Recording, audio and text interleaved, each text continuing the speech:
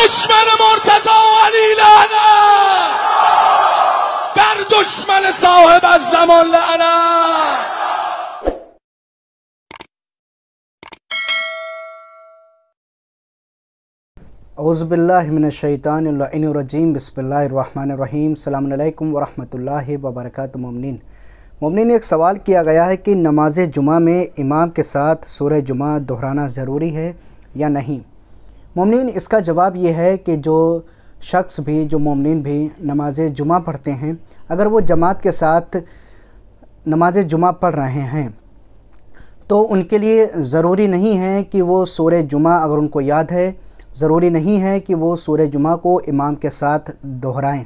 लेकिन हाँ अगर उनके कानों तक इमाम की आवाज़ नहीं पहुँच रही है, और उनको अगर सूर जुमा याद है तो सूर जुमा दोहरा सकते हैं, पढ़ सकते हैं।